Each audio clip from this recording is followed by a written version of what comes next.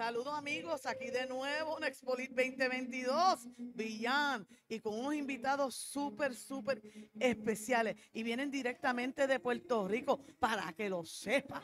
Preséntense, mis amigos. Saludos, Dios les bendiga. Mi nombre es Yesel Gerena, soy productor y vocalista de la banda. Bueno, yo soy Juan Robles, eh, soy el pianista. Dios les bendiga a todos. Mi nombre es Norialis y soy vocalista de la banda. Ya ustedes escucharon todo eso. Cuéntame, ¿cuál es, eh, eh, qué te inspiró a ustedes? ¿Qué les inspiró a hacer este proyecto? Este proyecto nace de un FaceTime que hicimos eh, nosotros tres y el baterista de la banda. y era un sueño que siempre habíamos tenido en nuestro corazón presente, pero no fue hasta este momento que el Señor nos abrió las puertas y nos dio la oportunidad de hacer lo posible y decidimos echar mano a esto. Wow. Ahora pasa el micrófono a él que yo quiero oír. Dime qué te inspiró a ti a, las ideas y a unirte a este proyecto.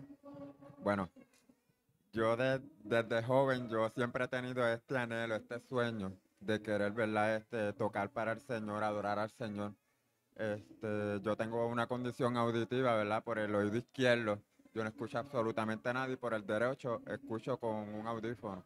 Este, y es lo que me ha ayudado a meterme con el Señor, a tener una intimidad profunda con el Señor, ¿verdad? Y gracias a esa intimidad es que el Señor me ha ido enseñando poco a poco, este, en medio de diferentes procesos, a desarrollarme en la música, este, a compartir con ellos, que ellos han sido muy pacientes conmigo también, este, ¿verdad? Y todo para la gloria de Dios. Amén. Y tú sabes, como dicen el dicho, que, que tenga oído que escucha la, voz del Espíritu Santo. Y tú sí escuchas mejor que todos nosotros.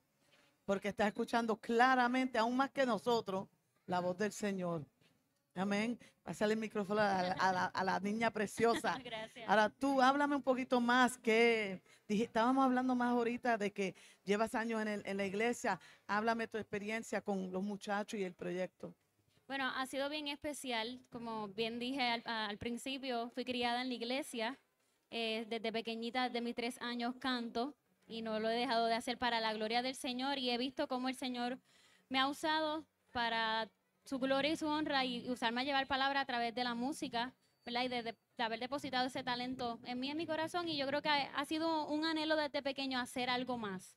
Pero no fue hasta ahora, ¿verdad? Que yo creo que el Señor nos prepara desde pequeñitos para, para ciertos momentos que no lo vemos, pero ahora lo estamos viendo en realidad, a crecer en Él, a madurar, a ir en intimidad con Él para lograr esto que estamos haciendo ahora. Y yo creo que nos, eso nos ha motivado más todavía y sobre todo como jóvenes, ser ese ejemplo para otros jóvenes que yo sé que tienen el anhelo, pero quizás no se han atrevido a dar ese paso de seguir a Jesús.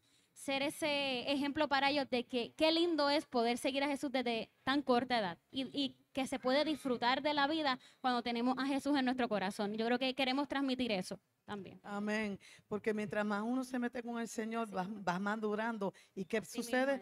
Van subiendo peldaños. Porque van conociendo un atributo nuevo cada vez del Señor. Amén. Pásale el micrófono a él que quiero hacerte la pregunta. ¿Cuál es la canción que estás promocionando ahora? Y, y me gusta el nombre, Ferviente Corazón. Ustedes están entendiendo eso. ¿Ustedes entienden eso?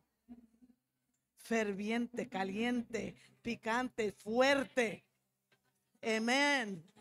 Dime. La canción que estamos promocionando se titula Prefiero a Jesús y sale este próximo 4 de junio en todas las plataformas digitales para la gloria del Señor.